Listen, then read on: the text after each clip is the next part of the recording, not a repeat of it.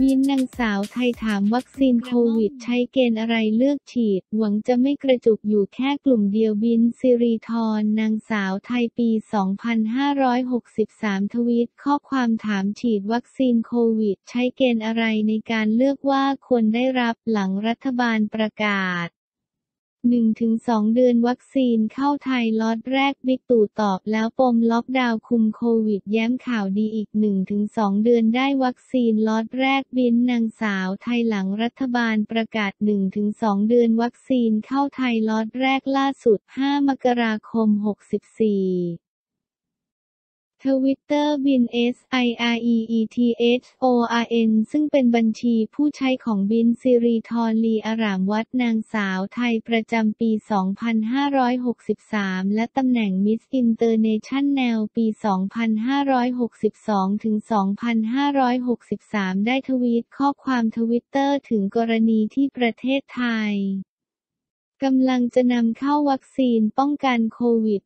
-19 โดยระบุว่า สงสัยจริงงงซื้อวัคซีนมาดีนะ แต่กระจายยังไงใครทีเรียกฎเกณฑ์การได้รับคืออะไรหวังว่าจะมีเนื้อไม่งานก็คิดไม่ได้ว่ากลัววัคซีนกระจุกอยู่กลุ่มเดียว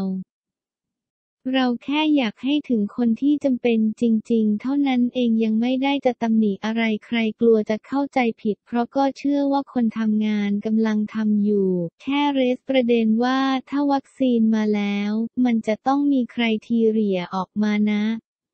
หรือถ้ามีแล้วแชร์ได้จ้า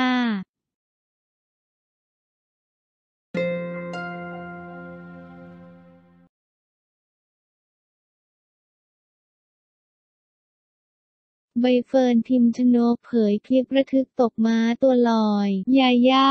รีบเข้าไปช่วยดูแลทำเอาหลายคนตกใจไปด้วยเมื่อได้เห็นคลิปที่นางเอกสาวใบเฟิร์นพิมชนกประสบอุบัติเหตุตกม้าขณะกำลังฝึกซ้อมขี่ม้า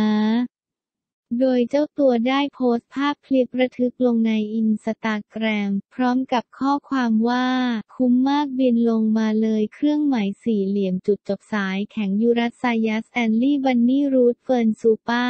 ซึ่งในภาพคลิปนั้นเห็นอย่างชัดเจนว่าใบเฟิร์นที่กำลังขี่ม้าอยู่นั้น จู่ๆม้าก็หยุดเลยทำให้ใบเฟิร์นตัวลอยตกออกมาจากตัวม้าอย่างจังทันที แต่งานนี้เจ้าตัวก็ยังยิ้มได้ เพราะได้นางเอกในดวงใจอย่างยาย่าอุรัสยาที่อยู่ในเหตุการณ์ที่น่ารักรีบเข้ามาช่วยดูแลประคบน้ำแข็งให้ ซึ่งหน้าตายาย่านั้นดูตกใจกว่าเจ้าตัวที่ตกม้าเสียอีก และยาย่าก็ยังเข้ามาคอมเมนต์ในโพสต์ของใบเฟิร์นด้วยว่า บินลงมาต่อหน้าต่อตาเก็ตเลสกรีนเร็วๆเพียงงง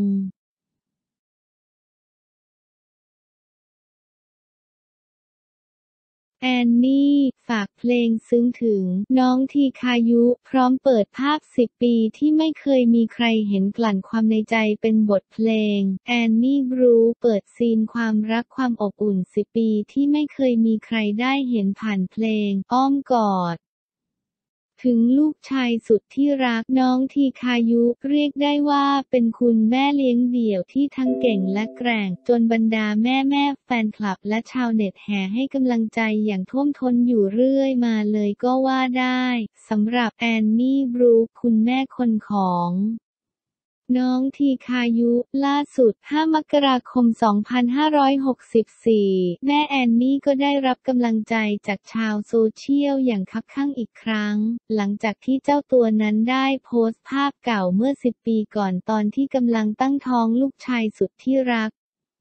ลงในอินสตาแกรมส่วนตัวพร้อมกับเขียนข้อความฝากผลงานเพลงและบอกเล่าความยากลำบากของการเป็นแม่ว่า ฝากแม่แม่รับชมเพลงที่แอนกับน้องทีคาร้องด้วยกันที่ช่องแอนนี่บรูคการอุ้มท้องว่ายากแล้วการเป็นแม่ว่ายากมาก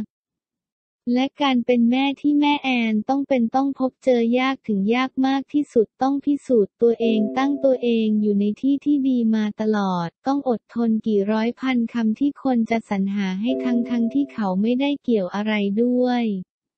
แม่ต้องดีให้ได้มากแค่ไหนถึงจะเลี้ยงเด็กชายคนหนึ่งให้โตมาได้อย่างงดงาม ฝากกระดูเพลงที่แม่ตั้งใจจากหัวใจให้ทีนะคะทางช่อง YouTube แอนนี่บรูคซึ่งพอตามไปดูเพลง ป้อมกอดที่แอนนี่บรูค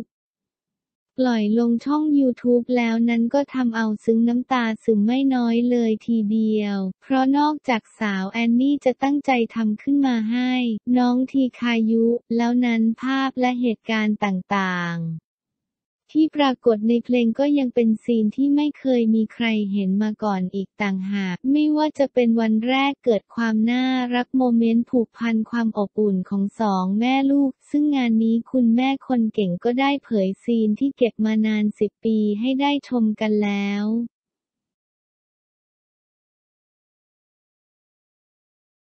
ด้วยความดีงาม ฟิล์มธนภัทรมอบรอยยิ้มน้องๆ โรงเรียนสอนคนตาบอดส่งท้ายซีซั่นหนึ่ง Film for Fan ด้วยความดีงาม ฟิล์มธนภัทรมอบรอยยิ้มน้องๆ โรงเรียนสอนคนตาบอดมอบความบันเทิงและความฟินให้แฟนๆ มาจนใกล้ปิดซีซั่นแรกแล้วสำหรับฟิล์ม for Fan ฟิล์ม for Fan โปรเจกต์พิเศษรายการออนไลน์ของ ฟิล์ม ธนภัทรกาวิละพระเอกเบอร์ท็อปแห่งช่องวัน 31 โดยสัปดาห์ล่าสุดเปลี่ยนบรรยากาศ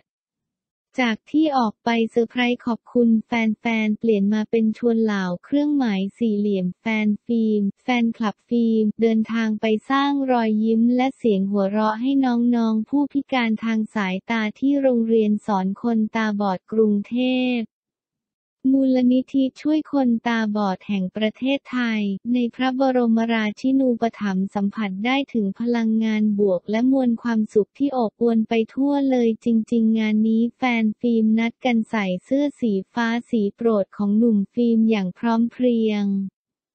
ด้านพระเอกหนุ่มใส่เสื้อทีเชิ้ตสีขาวที่แฟนคลับทำให้เป็นพิเศษมาร่วมกิจกรรมครั้งนี้ แบบได้ใจทีม support ไปเต็มๆเช่นกันฟิล์มเผยว่า ปกติส่วนตัวผมจะทำ charity ทุกๆปีอยู่แล้ว แต่ยังไม่เคยทำกิจกรรมอะไรน้องๆ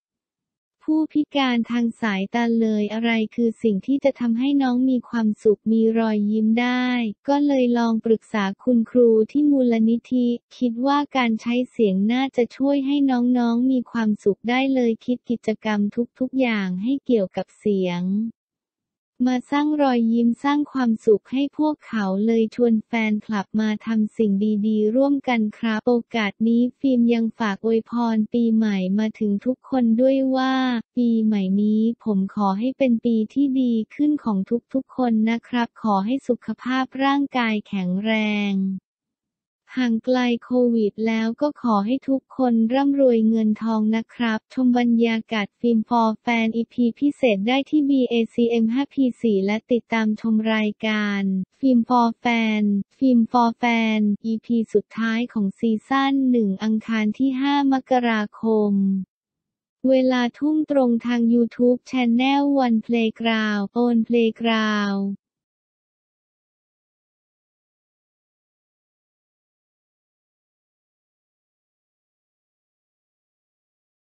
Yes.